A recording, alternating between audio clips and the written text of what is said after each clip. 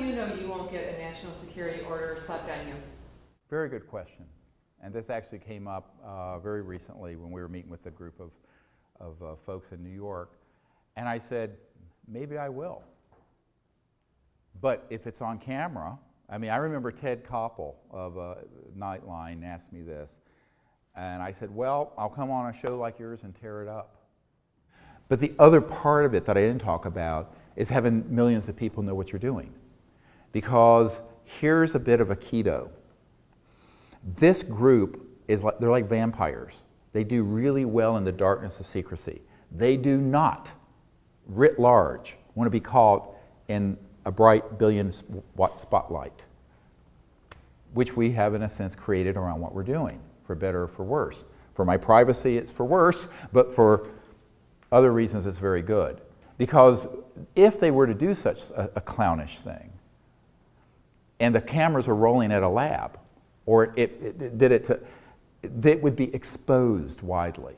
That, that there is a group operating off the reservation that has tried to do a national security order or made an overt threat or what have you.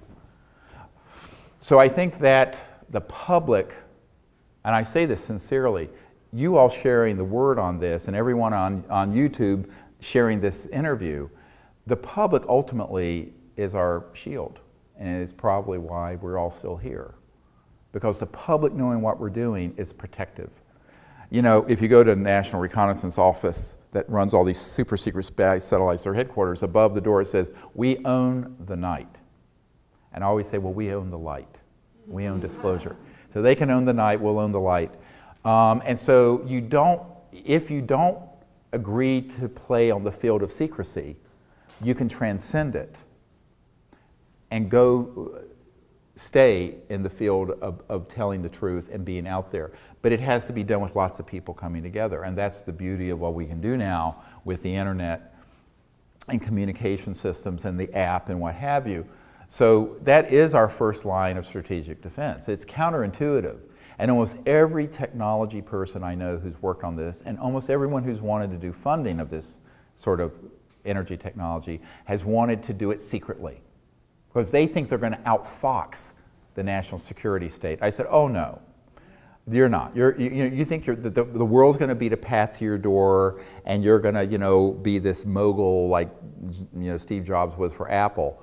No. I said, before the public beats a path to your door, Murder Incorporated is going to meet a path to your door. So you've got to do this with your eyes wide open and do it very openly.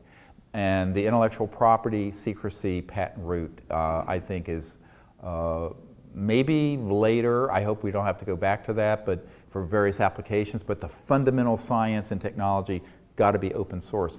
But then when it is, and it's been reproduced, and you have thousands of these devices going out, one of our plans is some of the celebrities that have followed our work, that I don't want to name, is to have their homes running on. Imagine someone on the cover of People magazine.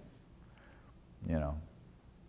So at a certain point, you get this out there and you just sort of, you get a fund, so you have a couple hundred of them made, and you gift them to the right people in academic institutions, uh, celebrities, pop culture icons, rock music stars that I've met. Be pretty cool. And that you, that's very hard. I mean, the hidebound at Harvard may not talk about it, but I suspect Steven Seagal would, or Bono of U2, right? So, I, you know, uh, you can read between the lines, and I think that's where uh, the public coming together, but using a strategy. The strategy we have is a really complex uh, strategy, but it's really, when it gets right down to it, very, very simple.